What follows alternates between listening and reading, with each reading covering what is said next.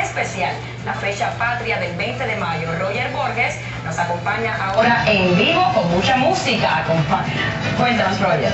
Mucha música, mucho sabor, mucha sazón, mucha comida, mucha diversión.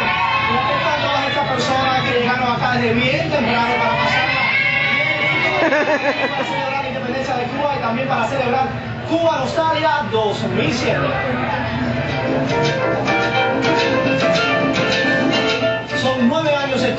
Nostalgia y cada año se pone mejor.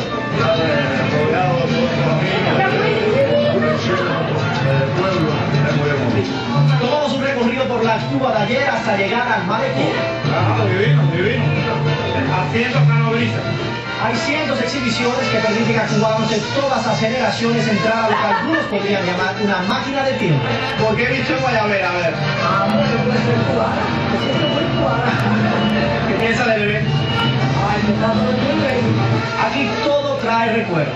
¿Te recuerdas los ositos a Cuba? Cada vez los hago. Siempre. Me parece que todavía. Y no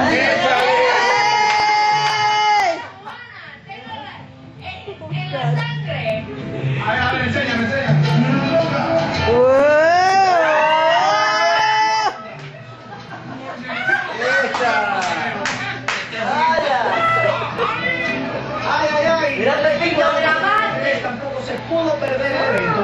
Oportunidad de saludar a nuestros televidentes. Yo soy colombianísima, pero de verdad disfruto absolutamente todo, todo lo cubano. Lo mejor de Cuba, definitivamente la gente. No me mostran cariño tan sector tan amoroso a saludarnos y todo eso, como que ya somos, me siento como parte de toda la familia aquí en Miami. El evento coincide con el Día de la Independencia de Cuba. Yo creo de que cada aniversario de la independencia que pasa cerca de la verdadera libertad de Cuba. Hoy también se le rindió homenaje al gran comediante Armando Roldán, ya que celebra 55 años de carrera artística. Y la celebración continuaba con un concurso de karaoke, una de las actividades más divertidas del evento. Y continuamos aquí con esta gente que nos quieren, como aquí, mira, ven, esta es la mamá de Sandra Pibos, que es una de las primeritas que se viene por acá. Vemos a Pam por allá,